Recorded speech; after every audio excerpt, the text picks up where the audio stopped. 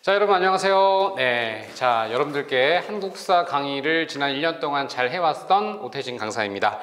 그 결실이 바로 6월 21일에 있었던 어, 지방직 시험에서 어, 맺어지게 되었습니다.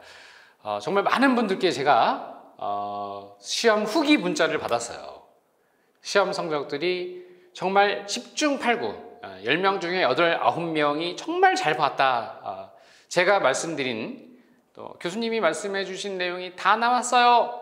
다 나왔어요. 이렇게 다섯 글자. 참 기분이 좋았던 말입니다. 그럼 결과는 어땠느냐? 에, 90, 95, 100. 90, 95, 100. 자, 이렇게 거의 대부분 맞으셨어요. 자, 그랬다는 얘기는 물론 저도 강의를 잘 했고 또 여러분들도 제 강의를 잘 따라서 최종적으로 마무리 잘 해주신 결과이기도 하지만 그런데 이번 지방직 한국사는 다른 어떤 시험보다도요 그 출제 난이도가 조금은 easy, 좀 쉬웠다라고 얘기를 드릴 수가 있겠습니다. 제가 음, 그래서 시험지를 다 검토를 해본 결과 뭐 먼저 여러분들께 말씀드리겠습니다. 제일 궁금해하시는 합격 커트라인.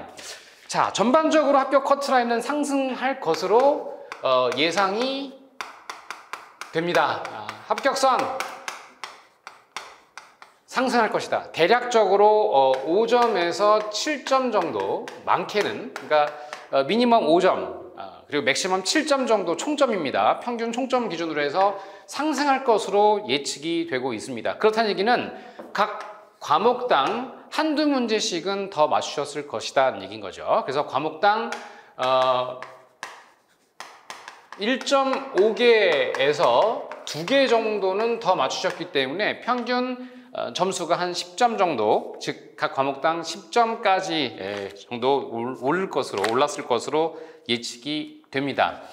이게 그 원래는 어, 교양 과목이 조금은 쉽고 전공 과목이 어렵게 출제가 되던 기조였었더랬죠. 그런데 올해는 전공 과목도 쉽게 출제가 되었기 때문에 많은 수험생들께서 기대를 걸고 계실 거예요. 그런데 어, 조금 제가 불안한 마음이 드는 게 이게 나만 시험 잘 본 게 아니라 주변의 친구분들 또 경쟁하시는 분들이 전반적으로 올랐을 것으로 보여지기 때문에 지금 다들 기대하고 있어요. 그래서 어, 이게 제가 좀 우려스러운 게 기대를 했다가 하, 아깝게 좀 안 되신 분들이 있지 않을까. 그래서 그분들이 정신적으로 조금 그 데미지를 더 많이 입으시지 않을까 하는 그런 우려가 있기도 합니다. 하지만 제 제자분들은 정말 잘 될 것으로 되실 것으로 어, 제가 어, 희망을 걸고 있습니다. 또 제가 기원을 해드리도록 하겠습니다. 반드시 잘 될 것입니다. 자, 그렇다면 이번 시험 문제 해설 강의를 할 건데요. 해설 강의에 앞서서 제가 이번에 출제가 됐던 경향, 뭐 출제 경향이라고 하는 거는 사실은 크게 의미는 없어요. 이게 매 회차 바뀌기 때문인데 이번에는 어떤 어, 출제 경향을 보였는가를 먼저 말씀을 좀 드리겠습니다. 선사시대라고 하죠. 에, 이른바 구석기, 뭐 초기 철기까지 에, 선사시대에서 한 문제가 출제가 되었고요. 그 다음 이제 초기 국가. 음, 초국, 초기 국가는 뭐 어, 고조선, 뭐 부여, 고구려, 옥조, 동해, 삼한 이런 걸 말하겠죠. 에, 그래서 여기에서 또 한 문제 출제가 되었고요. 어, 고대, 아, 이른바 삼국시대, 고구려, 백제, 신라, 아, 발해 뭐 이런 나라들까지 모두 포함해서요. 어, 두 문제가 출제가 되었어요. 그러니까 우리가 삼국시대를 공부 열심히 하지 않습니까? 근데 거기에서 지금 한 네 개 정도가 출제가 되었고요. 그 다음에 이제 고려입니다. 예, 중세라고 할 수 있는데, 중세에서는 어, 3.5문제 정도가 출제가 되었습니다. 왜 3.5문제라고 얘기를 드리냐면은 순서별 문제 통합형이 하나가 있어서요. 음. 그 다음 이제 조선입니다. 근세 혹은 어, 근대 바로 직전을 말하는데요. 여기에서 어, 3.5문제 정도 출제가 된 것으로 봅니다. 그런데 놀랍게도 이 전 근대사 말고 이른바 근현대사 있죠? 네, 근현대사 부분에서 이 현대사는 거의 출제가 되지 않았고 이 근대사 부분에서 거의 출제가 되었어요. 그래서 개항기부터 일제시대 정도까지 출제가 되었는데 여기에서 자그마치 8문제 정도가 출제가 되었습니다. 아, 이거는 뭐 정말 많이 나온 것으로 봐야겠죠. 그래서 어, 대략적으로 이 정도 문제 정도가 출제가 된 것으로 보여져요. 어. 이걸 이렇게 볼까요? 네. 통합형 문제가 있, 으니까 그래서 근현대사의 출제 비중이 매우 높았는데 그 가운데서도 이 근대사의 출제 비중이 높았다라고 볼 수 있겠습니다. 어, 그래서 아무래도 이 시험 문제를 잘 보시려면은 이런 근현대사를 열심히 좀 공부를 해야 한다. 그래서 적어도 조선 이후부터를 열심히 공부해야 한다라는 걸 보여주고 있는 거죠. 네. 자, 그 다음 어, 출제의 어떤 형태라고 할까요? 네, 출제 형태를 말씀드리면 이 사료형이 역시 대세를 이루었다. 아, 그래서 사료형 문제가 총 20문항 가운데에서 16문항이 출제가 되었다는 거예요. 그래서 이 사료의 중요성이 제가 뭐 누차 강조드렸습니다. 그런데 이 16개나 출제가 됐다는 거는 이전보다 더 많이 출제가 된 거예요. 예, 이전에는 뭐 만화 10개에서 12개 이렇게 나왔는데 점점 점점 어, 늘어나고 있습니다. 아, 그러니까 이 사료형 문제를 여러분들이 좀 잘 잡으실 필요가 있겠죠. 많은 분들이 사료를 읽기 어려워 하시는데 어쩔 수 없다. 아, 출제가 지금 사료 위주로 지금 출제를 하고 있기 때문에 사료는 열심히 읽어 주셔야 한다. 그래서 제가 강조드리는 키워드 등이 있거든요. 그래서 그 키워드 등을 중심으로 공부를 하실 필요가 있겠다. 그다음 이제 순서별 문제인데요. 역시 그 국사 문제의 꽃이죠. 이 순서별 문제가 네 문제가 출제가 되었습니다. 뭐 여기는 그냥 가나다라 이렇게 배치하는 어, 그런 순서도 있었지만 뭐 가와 나 사이에 있는 일을 찾아라 이런 내용도 있었고요. 또 뭐 그 이후에 있었던 일이 뭐냐 이제 이렇게 출제가 되기도 했었습니다. 그래서 이러한 순서별 문제, 그래서 뭐 이렇게 해서 이 이렇게 놓고 요 구간을 설정을 하는 문제 우리 연습 많이 해봤죠? 그래서 기역, 니은, 디귿, 리을 가운데에서 위에 있는 사료가 들어갈 곳으로 알맞은 것 이런 형태의 문제가 아, 출제가 되기도 했습니다. 음, 그래서 이렇게 해서 여러분들께 이번에 그 출제된 지방직 2024년도 한국사 문제는 어, 대략적으로 이렇게 출제가 되었고 그리고 어, 최저 합격 점수는 대략적으로 90 정도로 보고 있다. 그래서 92개 정도 틀려야만 될 것 같다. 아, 말씀을 좀 드립니다. 자, 그럼 해설 강의를 바로 들어가도록 하겠습니다. 어, 1번 이제 신석기 시대입니다. 자, 신석기 시대 하면요. 틀린 걸 찾는 거죠. 네, 그래서 정답은 2번이었는데 신석기 시대의 특징은 평등 사회라는 것이 특징입니다. 어, 그런데 여기 군장이 있고 권력이라는 말이 나왔고요. 그걸 상징하는 고인돌이 나왔어요. 그것은 계급이 있다는 얘기죠. 계급이 있다는 얘기는 평등사회가 아니라는 거 아닙니까? 그러니까 결국 신석기 시대는 아니다라고 봐야 됩니다.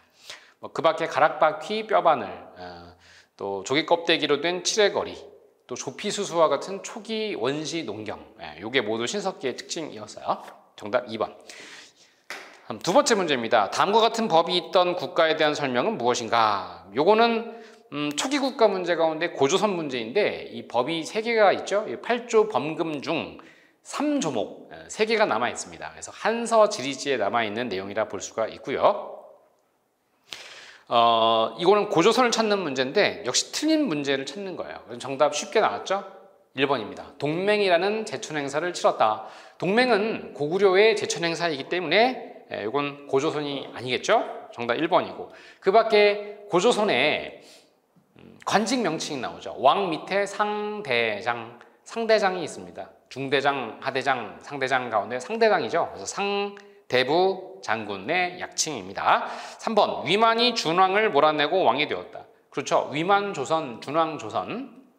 4번 중국의 한과 한반도 남부 사이에서 중개 무역으로 성장하였다. 예, 이것은 어, 위만조선 성립 이후의 정치 경제 상황이라 볼 수 있어요. 결국 이러한 중개 무역을 하는 것 때문에 예, 한 나라의 무죄의 분노를 유발해서 공격을 당했고 결국 망하게 됐죠. 예, 그래서 정답 1번입니다. 3번 가국가에 대한 설명으로 옳은 것은 무엇인가? 자, 요 문제 우리 풀어보았죠? 예, 다 풀어본 문제인데 특히 제가 이 호암사 정삼 회의를 얘기하는 문제를 어, 직접 이렇게 똑같이 내드렸었습니다. 부여의 호암사에는 정삼이라는 바위가 있다.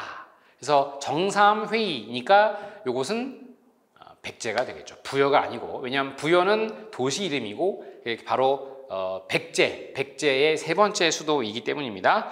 백제를 찾는 문제죠. 그래서 정답 1번 6 좌평과 16 관등제도가 있었다. 백제의 그 책임자들을 좌평이라고 하고 관등이 총 16개가 있기 때문이죠. 그 밖에 태학이라는 교육기관은 고구려 소수림왕, 인안이라는 연호를 사용한 것은 발해의 두 번째 왕인 대무의 즉 무왕 때의 연호고요. 골품제도라고 하는 것은 신라 시대에 사용되었던 또 어, 마련되었던 신분제도라 할 수 있습니다. 다음입니다. 4번입니다. 가에 해당하는 인물로 옳은 것은 적중 문제인데 역시 이것도 뭐 쉽게 출제가 됐죠. 누구나 다 이렇게 풀 수 있었던 문제인데 중앙아시아와 인도 지역의 다섯 천축국을 순례하고 돌아온 이야기에서 제가 돌아왔다 그랬죠. 돌아왔다. 제가 모의고사에서 돌아왔다. 근데 돌아온 거 아니지 않나요? 예. 돌아오다가 중국 둔황까지 온 것 같다. 그래서 중국에서 죽었던 그런 승려, 해초라는 승려. 그래서 이분이 남긴 그 어, 왕 오천축 국전에 있는 내용까지 제가 이렇게 사료로 말씀을 드리기도 했었죠. 정답 4번입니다. 5번입니다. 가에 해당하는 기구로 옳은 것은 비로소 가를 설치했다. 가라는 관청을 설치하였는데 판사 최무선의 말을 따른 것이다. 최무선이죠. 아, 이 최무선이라는 분께서 제가 암기법도 있었어요. 그죠? 아주 무서운 분이다. 무서운 분.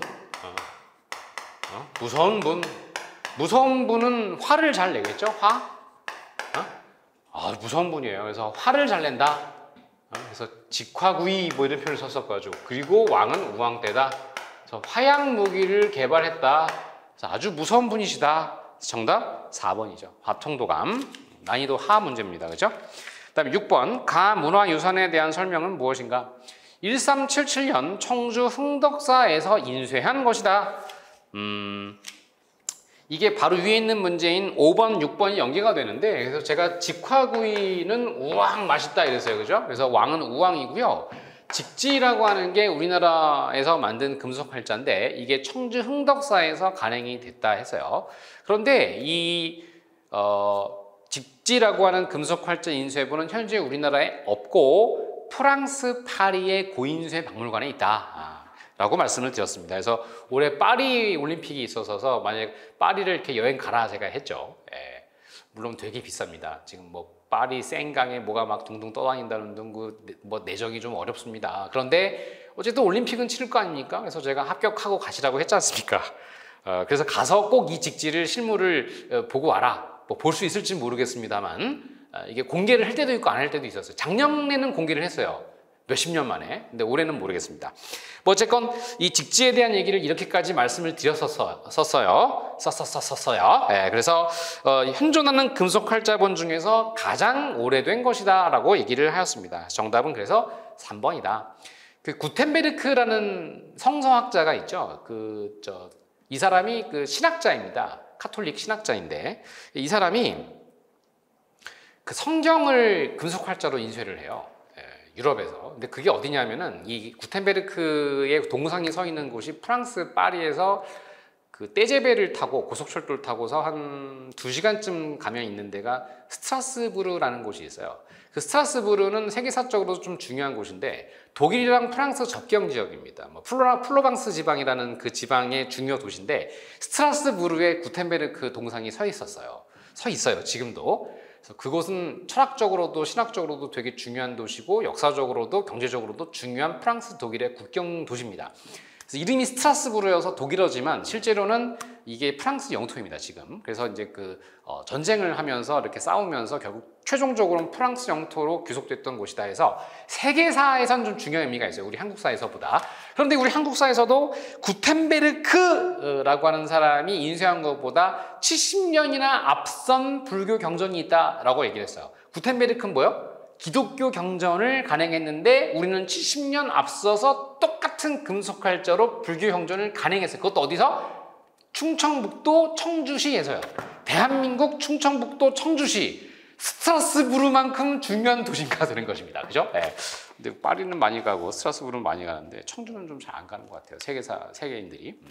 어쨌든 이런 걸 우리는 좀 적극적으로 홍보할 필요가 있습니다. 뭐 해설 강의하는데 이런 얘기를 하느냐? 해설 강의니까. 네. 이런 얘기까지 좀 해드립니다. 좀 마음 편하시죠? 음. 7번입니다. 병인 양요에 대한 설명으로 옳지 않은 것은 예, 병인 양요는 누가 일으킨 전쟁입니까? 방금 공부한 프랑스입니다. 어, 문제 5번, 6번, 7번에 스토리가 있어요. 예. 오, 병인양요는 프랑스가 일으킨 전쟁이에요. 그래서 프랑스가 이때 병인양요를 일으켜서 강화도를 공격했고 그 결과 우리나라의 많은 서적을 약탈해 갔어요. 그 약탈해 간 서적 가운데 의궤라는 게 있죠. 그 의궤도 역시 프랑스 파리에 보관을 하고 있었더랬습니다. 그런데 2011년에 우리나라에 반환을 하게 됩니다. 아, 어, 대단히 좀 중요한 의미가 있죠. 이게 이명박 정부 때입니다. 이명박 대통령 때 이 프랑스로부터 의궤를 되돌려 받았다. 음. 그래서 옳지 않은 것은 프랑스와 관련되는 걸잘 찾으면 돼요. 1번 프랑스, 5 강화도, 2 그때 강화도에 있는 외교장각의 의궤를 약탈했다. 이게 이제 2011년에 반환받은 거죠. 이명박 정부 때. 4번 프랑스 선교사와 천주교도 카톨릭 신자들이 처형당한 것에 대한 보복 차원이다. 맞습니다. 그런데 정답 3번. 이것은 어제연 또 광성보 전투라고 하였죠. 광어입니다. 이게 작년에도 출제가 됐는데 작년 지방직 시험에서도 이 강화도에 있었던 역사적 사건이 출제가 되는데 2년 연속 강화도에서 있었던 사건을 출제를 했습니다. 야, 이거 뭐 이건 뭘까요? 이 강화도가 좀 중요한데 제가 계속 강화도를 강조했었더랬어요. 그렇죠? 네, 근데 이게 나왔어요. 촉이 있는 거야, 이제 제가. 이제 거의 신기 무당까지는 아닌데 무당 근처까지는 갔어요, 제가. 정답 3번입니다. 8번입니다. 밑줄 치는 이, 이거를 일으킨 단체는 무엇인가? 야, 이 문제 정말 쉽게 출제되었는데 일단 김구가 나왔고요. 김구 선생님. 두 번째가 윤봉길이 나왔어요. 그럼 김구 윤봉길 세트.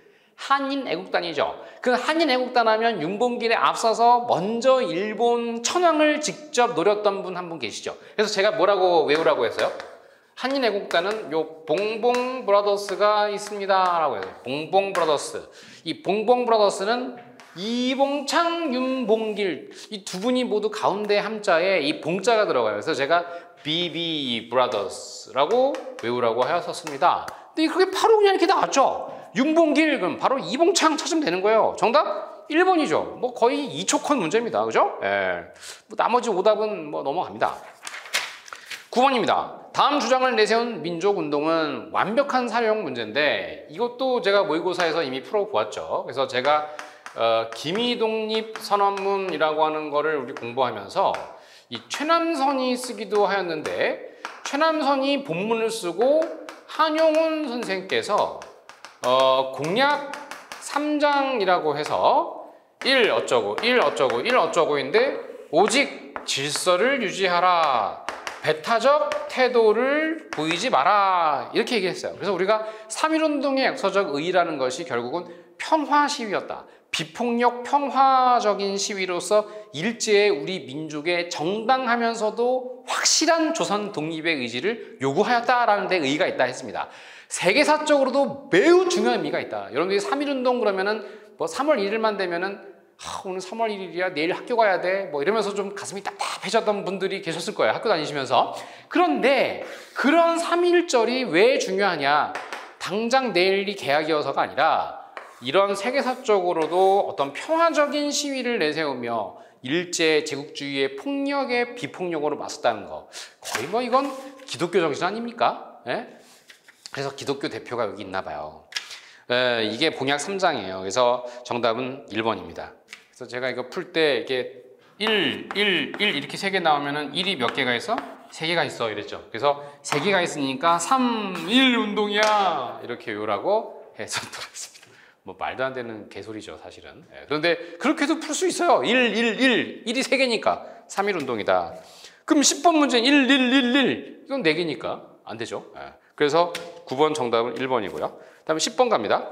다음 결의사항을 실현하기 위해 일어난 사건은 무엇인가? 1, 1, 1, 1. 이게 그 농민군 4대 강령이라는 거예요. 1이 4개죠. 예. 고부성을 격파하고 군수 조병갑의 목을 베어 효수하라. 동학 농민 운동입니다. 동학 농민 운동을 일으켰던 동학의 농민 간부들을 부르는 말이 있어요. 바로 집강입니다. 그래서 정답 2번 집강선 설치하고 폐정개혁 12조를 요구하였다. 이게 답이겠죠? 어, 1번 해상공국 폐지 요거는 이제 보부상들이 조, 중심이 된 조직인데 이걸 폐지하라 얘기했으니까 갑신정변 3번은 99인이니까 어, 군란 그래서 이모군란 13도 창의군 조직 서울진공작전은 정미의병입니다 11번입니다 다음 상소문이 올라간 국왕대에 있던 사실로 옳은 것은 무엇인가 불교는 몸을 닦는 근본이래요. 어, 그리고 유교는 나라를 다스리는 근원이다. 그래서 치국의 도로서 유교를 내세워라. 예, 바로 고려 성종 때 최승로의 시무 28조 중 일부입니다. 그럼 고려 성종을 찾으면 되는 거죠. 예, 이때 뭐 숫자가 그렇게 많아요. 성종 때 숫자를 엄청 많이 외워야 돼요. 뭐 삼성육부를 우리식으로 이성육부로 또 뭐 전국 지방제도에 12목을 설치해서 12목사를 파견하더라. 뭐 이런 거. 그래서 제가 이 성종 때에는 이성 육부 12목 이랬죠. 그래서 2 곱하기 6, 12. 중앙은 이성육부, 지방은 12목. 정답 12목 설치로 나왔죠. 예, 그래서 정답 3번입니다. 음, 12번입니다. 미주춘 왕의 재위기간에 있던 사실로 옳은 것은. 그럼 이게 이제 사료형이라서 여러분들이 좀 어려워하시는데, 근데 이런 사료형도 뭐 사람 이름이 좀 힌트가 되고, 혹은 사건이 힌트가 될 수 있어요. 그래서 첫 번째 줄에 나오는 당초에 강홍립 어쩌고 나오죠. 그래서 강홍립 이 사람이 이제 최고 책임자가 되겠죠. 그래서 강홍립이 나왔다. 그러면 이거는 광해 군대를 찾으라라는 얘기죠. 예. 그럼 강홍립을 광해군으로 찾는 법? 예. 기억 히읗을 쓰면 돼요. 강홍립에서. 그래서 강홍립 일단 써. 강, 강, 홍. 썼죠? 어, 그 다음에 광해 쓰면 돼요. 광. 광자 되죠? 어. 예. 그래서 강홍립이 나오면 광해군대다. 어, 그래서 광해군을 찾으면 되는 겁니다. 그럼 광해군의 업적 뭐가 있어요? 어, 전후 복구 정책, 오대동, 오대 사고제, 대동법 실시, 물론 경기도에 끝으로 동의보감 세 개입니다.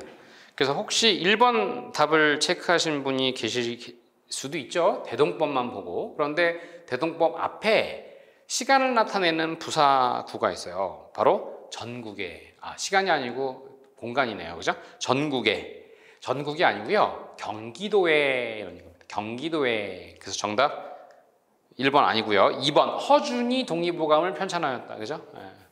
5대 사고제 대동법 동의 보감 이게 광해군의 예, 전후 복구 정책이에요. 예, 그래서 동의보감을 편찬하였다. 그래서 정답 2번이 됩니다. 3번 뭐 예속 논쟁 현종, 4번 백두산 정계비는 숙종대가 됩니다. 자, 13번입니다. 요 문제 좀 틀리신 분이 계신 것으로 제가 들었어요. 이게 왜 그러냐면 어, 금산사 미륵전과 법주사 팔상전을 구별을 못해서예요. 음, 이 두 개를 구별하는 연습은 잘 안 하셨더랬죠. 근데 저는 어, 수업 강의 문제풀이 할 때 이게 몇 층, 몇 층, 몇 층까지 설명을 지나가면서 잠깐 흘린 적은 있어요, 제가 이거는. 흘린 적은 분명히 있어요. 분명히 제가 이 몇 층인지는 설명을 드렸는데, 뭐 제가 말한 걸 다 기억한다면 그건 천재겠죠. 기억을 못 하셨겠죠. 예. 근데 이게 그 조선시대 후기의 17세기 건축 가운데 제가 이거 외우는 건 기억나세요? 혹시? 17이다, 7. 일주일이 7일이잖아요. 그죠? 그래서 7일이다. 어, 그래서 일주일 얘기하면은 월, 화, 수, 목, 금, 토, 일 이렇게 얘기하잖아요. 그래서 제가 일주일이니까 이제 요일을 얘기하라고 했어요. 그러니까 이거는 국사 강의가 아니죠. 예, 국사 강의가 아니에요. 이건 국사 강의가 아니라 그냥 거의 뭐 그냥 랩이에요, 랩. 그냥 머릿속에 그냥 쑤셔 박는, 쑤셔 박는 그냥 랩인 거예요. 월, 화, 화요일, 그죠? 화요일. 그 다음, 금요일, 그죠? 그래서 금산사. 그래서 이게 화엄사고, 이게 금산사고. 그럼 이제 법주사가 나온단 말이에요. 그럼 법주사는 이제 제가 여기다 쓰는데 우리가 왜 연휴가 겹칠 때 뭐 공휴일이 겹치면 뭐 법정 공휴일 하나 임시 공휴일 제정하죠. 그래서 이렇단 말이죠. 아, 그래서 이 법주사 하면서 법정 공휴일 이렇게 요랬단 말이야. 그래서 법주사란 말이죠. 이 17세기 건축들의 특징은 양반 지주들의 시주를 받아서 만들어진 겉은 즉 외형은 되게 화려하나 내부는 하나로 통하는 좀 비실용적인 화려하기만 한 실용적이지 못한 건물이다. 왜 우리 지나다니면서 보는 교회들 있잖아요. 교회, 대형 교회들. 엄청 화려하죠. 막 돈 엄청 막 신자들이 갖다 때려 박는 거야. 그래서 엄청 크게 올려 목사님들이. 근데 또 들어가다 보면은 실용적이지는 않단 말이에요. 고딕 양식이 그렇잖아요. 고딕이라는 게. 예? 그게 뭐 실용적이에요. 이렇게 뾰족하게 짓는 게 실용적이진 않잖아요. 그리고 이 건축도 마찬가지예요. 그냥 그 당시에 불교의 사회적 지위, 경제적 지위를 이렇게 보여주는 건데 이게 이제 몇 층인지를 모른다는 거죠. 몇 층인지. 화엄사 각항전, 금산사 미륵전, 주사 팔상전이 있는데 이 화엄사 각항전은 3층이고요. 금산사 미륵전은 2층이고요. 법주사 팔상전은 5층이에요. 근데 이게 원래 3층, 2층, 5층 이렇게 만들려고 해서 만든 게 아니라 원래는 최종 목적이 다 5층이라고요. 5층을 만들려고 했는데 요 2층짜리가 된 이유는 위에 있는 3층부터 위에 있는 3층짜리 위에가 돈이 없어서 만들다 만 거예요. 그냥 이렇게 하자. 또 어떤 설은 이런 설도 있어요. 원래 이게 3층이었는데 불이 나가지고서 위에 있는 층수가 없어졌다. 이런 말도 있어요. 근데 저는 그건 좀 아닌 것 같고. 어쨌든 그래서 뭐 2층, 3층, 5층짜리가 있는데 다 원래는 5층으로 만들려고 했는데 요거 요거는 만들지 못했다. 그래서 요것만 5층으로 남아 있다. 제가 진짜 지나가면서 흘린 적은 있는데 근데 이걸 여러분들이 아마 기억을 못 하셨던 것 같아요. 예. 그래서 마인드 틀렸던 것 같다. 그래서 처음 나온 신유형의 문제예요. 17세기 건물의 에, 층수가 몇 층이냐 이걸 묻는 문제였습니다. 그래서 13번에 이제 그 가를 보면은 가부터 말고 나를 보면 나부터 볼게요. 이게 핵심이었으니까 우리나라에 남아 있는 조선 시대 건축물 중 유일한 5층 목탑이다. 그래서 5층 이게 키워드였어요. 예, 그래서 5층짜리를 찾는 건 바로 법주사 팔상전이었다. 아, 그럼 가는 좀 쉽죠? 고려시대 건축물 찾는 거니까 영주, 구석사, 무량수전. 제가 그래서 어, 고려시대 후기의 주심포 건물 외우는 법 알려드렸지 않습니까? 음, 안동, 영주, 예산, 주심포. 그래서 제가 안녕의 주심포. 제가 인사할 때 여러분들도 같이 안녕해 주시면 안 돼요? 그랬죠. 안녕해 주시면 안 돼요? 안녕해 주시면 안 돼요? 예, 안녕의 안동, 영주, 예산, 주심포. 그렇죠? 예, 그래서 이게 고려입니다. 그래서 이렇게 쉽게 찾으면 되는 문제였다. 14번입니다. 자, 이거 제가 이제 그 유튜브라든지 이제 카페 이런 데 보니까 오늘 제가 새벽에 이 문자를 받았는데 14번 문제를 선생님 덕분에 맞출 수 있었습니다. 이렇게. 완전 기억났다. 이게 세금 문제인데 이게 난이도로 따지면 중쯤 돼요. 중. 예, 이게 순서별 문제인데다가 세금 문제라서 이게 여러분들이 좀 세금 문제 공부하는 걸 싫어하기 때문에 또 제가 마침 한 달 전에 그 지방세 연구원 특별 강연을 하고 왔어요. 강의료도 좀 이렇게 또 제가 좀 잘 받았는데 그 지방세 연구원 가서 한 내용이 이거였거든요. 근데 이게 나오더라고요. 제가 그래서 시험을 앞두고 하는 강연에서 꼭 한 문제씩 나오더라고요. 예. 그래서 가나 다라 이게 우리 조선시대인데 전공법 말씀드리면 가는 이제 결작 이두인데요. 이건 균역법이죠. 균역법은 영조 때 시행되고요. 나 풍경에 관계없이 전세를 1결당 4에서 6도로 고정시킨 건 고정시킨 거니까 인조 때 영정법이에요.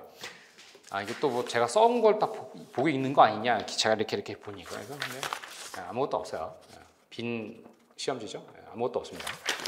그다음에 다 어, 1결당 수확량 300두의 10분의 1의 수치를 원칙으로 삼았다. 어, 300 곱하기 10분의 1하면 30두죠. 이게 다펌 손실법. 과전법 체제 하에서의 다펌 손실법이 바로 이 30두인데 이렇게 강의하면 좀 어렵잖아요. 근데 어쨌든 30두예요.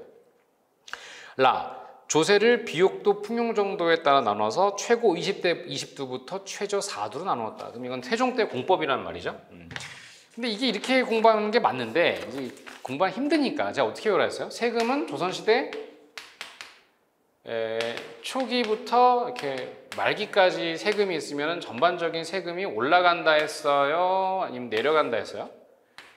내려간다 했죠. 그래서 제가 세금 액수를 공부할 때 뭐 외우기 힘드시면은 그냥 나오는 숫자를 보고 그 숫자가 점점 줄어드는 걸로 순서 배열 매기면 맞다 했죠. 그래서 제가 30도, 20도, 4도, 2도 이렇게 외우라 했죠. 했죠. 이게 너무 쉽잖아요. 점점 줄어들게 하면 돼. 이게 섞어버리면 어려운데 점점 줄어드는 대로 외우면 뭐가 어렵습니까 이게. 그래서 다가 1번이고 라가 2번이고 나가 3번이고 가가 1번인 거예요. 아셨죠? 이것도 틀린 분 정말 많은데 이건 제가 만든 그냥 암기법이 국사 강의가 아니라 했죠 제가 그냥 머리에 쑤셔 박는 어? Made by 오쌤 음. 이렇게 아마 강사 선생님들이 이걸 뭐 보실지 안 보실지 모르지만 다른 한국사 선생님들 이 방법 아마 펑할 겁니다. 자기가 만든 것처럼 얘기할 텐데 제가 만든 거예요. 예, 어떻습니까? 괜찮지 않습니까? 네. 쉽게 풀 수 있습니다. 그래서 30, 20, 4, 2 순서 배열을 하면 되겠다. 15번입니다. 다음 주장한 인물 실학자죠. 어, 핵심 문장은 이겁니다. 비유하건대 대체로 재물은 우물이다. 아, 우물과 같다. 샘과 같다. 아, 박제가죠. 제가 소비하겠습니다. 제가 쏘겠습니다. 아, 박제가고요. 박제가는 박지원의 제자로서 청나라와의 통상을 강화하자라는 주장을 하였습니다. 그래서 정답 1번이죠. 특히 통상 강화 과정에서 무역선을 파견하던가 유학생을 파견한다던가 외국인 선교사를 우리 조선에 초빙하자 이런 주장을 대담하게 하기도 했습니다. 어, 2번은 뭐 정제두, 양명학 강화학파, 토지의 매매를 제한하는 한전노는 이익과 박지원 두 사람이 해당되겠고요.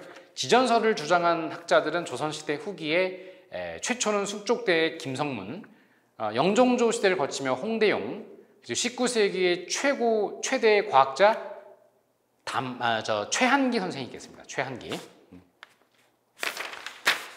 16번입니다. 다음 창립 취지문을 발표한 단체에 대한 설명으로 옳은 것은 자, 이 16번 문제도 조금 난이도가 어려웠던 문제 축에 들어가는 것인데 이것도 제가 적중한 문제입니다. 아, 적중을 제가 했습니다. 자, 여성 운동이 나올 것이다. 그 가운데 여성 운동이 크게 두 개가 나올 건데 하나는 독립협회와 연계되어 있는 어, 여학교 설시 통문, 이른바 여권 통문이 나올 거다. 1898년. 두 번째가 어, 약 20년쯤 뒤에 전개된 일제시대 1927년 5월에 출범한 여성계의 민족유일당 운동 근우회가 나올 것이다 라고 하였는데 이것은 바로 근우회였습니다. 27년 근우회는 여성들의 계급 해방을 목표로 하였고요. 그래서 정답은 4번이죠.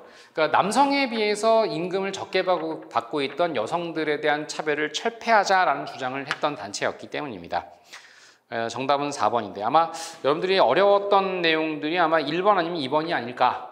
1번 호주제 폐지 운동. 요거는 대한민국 현대까지 와야 합니다. 그래서 호주제 폐지 운동이라고 하는 걸 통해서 2003년 어, 집권에 성공을 한 노무현 정부 때에 호주제가 폐지가 되었습니다.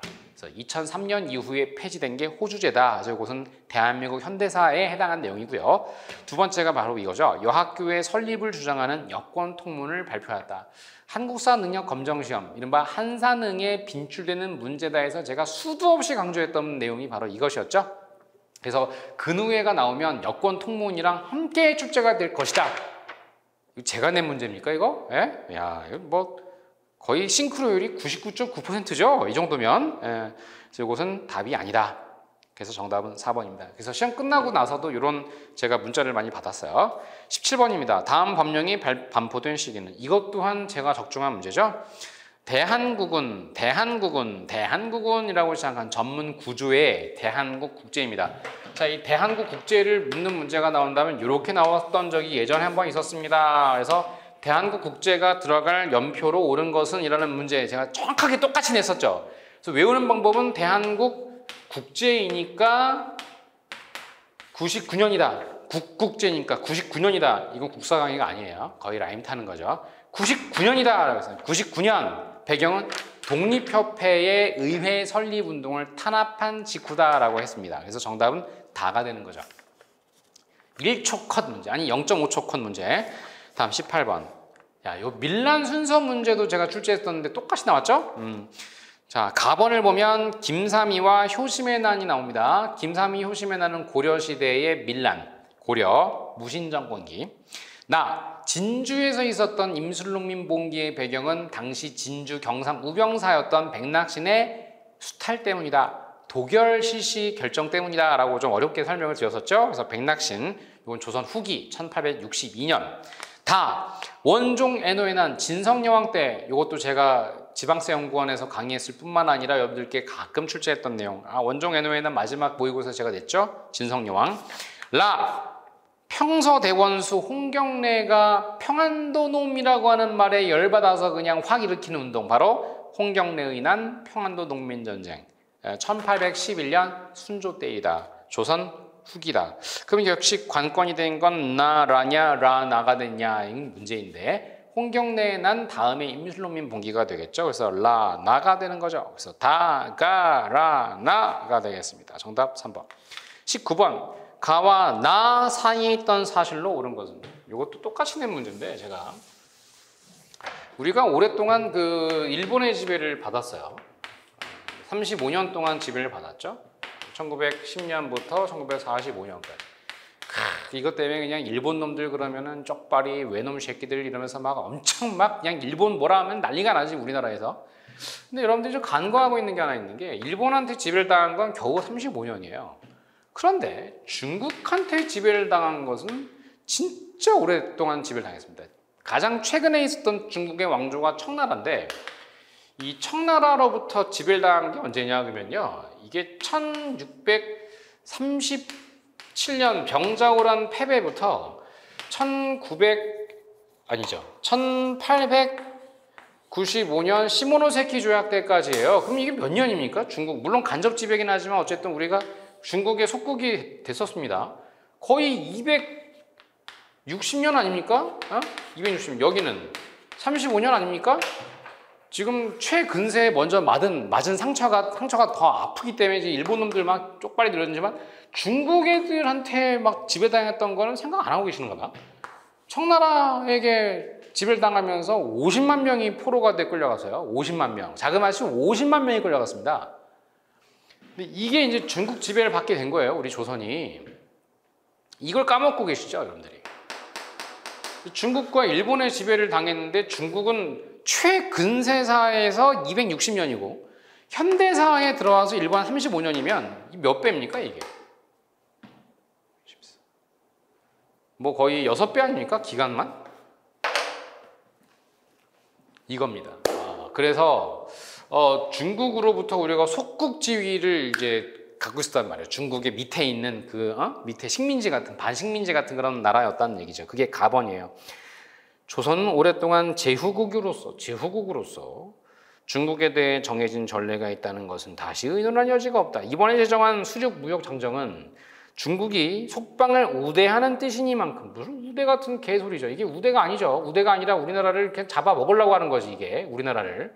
이게 조청 상민 수륙 무역 장정이라고 하는 것으로서 1882년 10월에 이홍장이라는 중국의 북양 대신과 당시 이홍장의 오른팔이었던 위안스카이 원세계인데 이 원세계가 나중에 그 중화민국 대총통으로까지 간 사람이죠. 예, 중화민국 순원 다음에 대총통이 된 게 원세계. 그 원세계가 중화민국의 대총통이 된 것은 우리나라에서 실력을 이렇게 보여줬기 때문인데 그 실력을 보여줬다는 건 다름 아닌 우리 조선 한국인들을 마구잡이로 살상을 하고 죽여버렸기 때문에 그 공을 인정받아서 중국의 최고 통치권자가 된 거예요. 원세계가.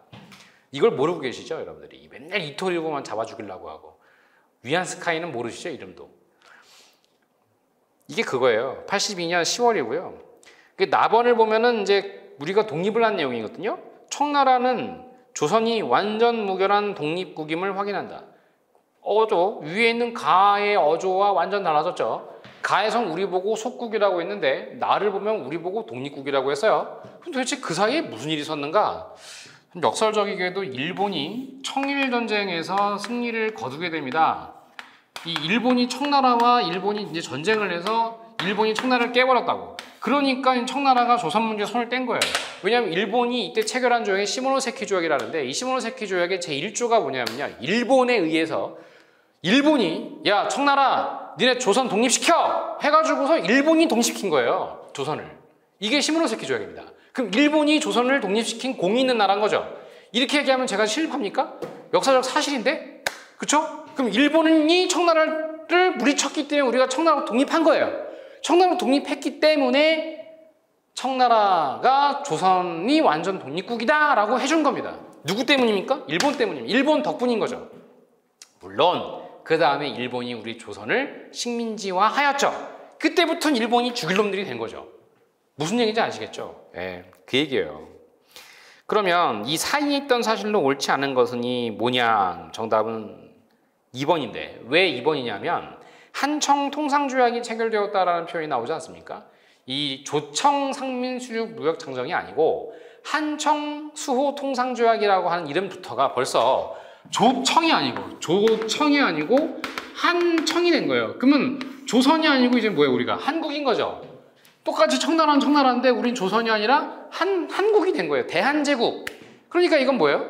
대등한 지위에서 체결한 거다. 그럼 어떻게 해야 돼? 우리가 조- 조선이 아니라 한국이 된 상황에서 또 조선이 청나라로부터 독립한 상황에서 이루어진 것이기 때문인 거죠. 그러므로 한청수통상조약은 1899년으로서 나로 인한 것이다. 나로 인해서 조선이 독립국이 됐고 청나라와 대등한 지위를 갖게 된 상황 속에서 체결한 조약이 한청수통상 조약이라는 것입니다. 뭔 얘기인지 알겠죠? 그래서 가 우리 조선 속국 나 조선 독립국 왜 일본 때문에 일본 덕분으로 다 그래서 청나라와 대등한 조약을 체결하게 되었다.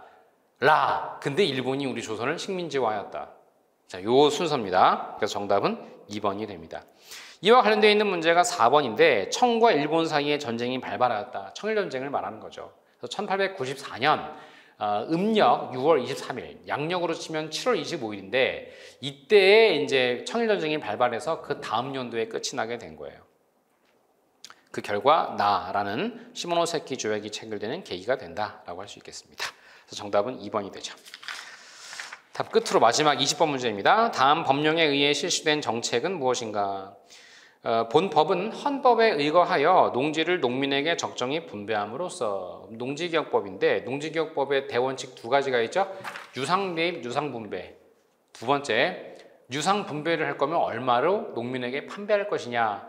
총 생산량, 1년 생산량의 150%가 그 토지의 가격이 된다. 150%를 분할 상환하되 5년 동안 분할 상환하게 한다니까 30%씩 5년간 분할 상환하는 것이죠. 그래서 정답은 3번입니다. 유상매수, 유상뱀 분배 방식으로 시행된 것이 우리 농지개혁법이다라고 할 수 있겠죠. 그래서 정답은 3번이 됩니다. 그 밖에 한국민주당과 지주층의 반발로 중단되었다. 어, 한국민주당의 다수 당원이 지주 출신들인데요. 이 민주당이 지금 민주당의 원류죠. 더불어민주당이 한국민주당으로부터인 거예요. 그래서 지금은 뭔가 서민들의 입장을 대변하는 것처럼 보이는 정당이지만 초기 민주당의 모습은 지주들의 입장을 대변하던 정당이었다. 근데 이게 반발로 중단되었다가 아니라 농지개혁법은 그대로 실시가 됩니다. 아, 그리고 어, 4번 보시면 자작농이 감소하고 소작농이 증가하는 결과가 아니라 그 정반대죠. 농지를 분배받은 농민들이 자작농이 되니까 자작농이 증가하고 소작농은 감소하는 결과로 이어졌다고 봐야 되겠죠. 그래서 반대로 설명을 해 놓았기 때문에 이건 답이 아니겠다라고 할 수 있겠습니다. 자 이렇게 해서 어, 대망의 2024년도 지방직 한국사 문제 해설을 마무리하겠습니다.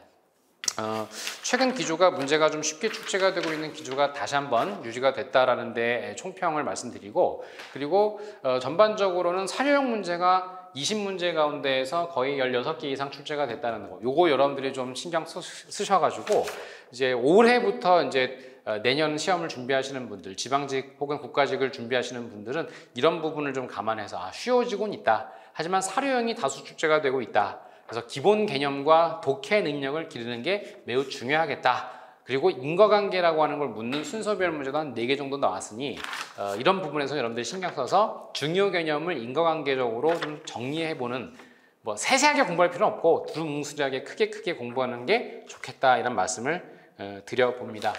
그래서 내년에도 어, 올해처럼 여러분들께 합격의 영광을 드리기 위해 한국사 고득점을 보장해 드리도록 하겠습니다. 자, 이렇게 해서 이상으로 마무리하겠습니다. 아, 한국사 전국, 대한민국 세계 넘버원을 추구하고 있는 우태진 강사였습니다. 여러분, 고맙습니다.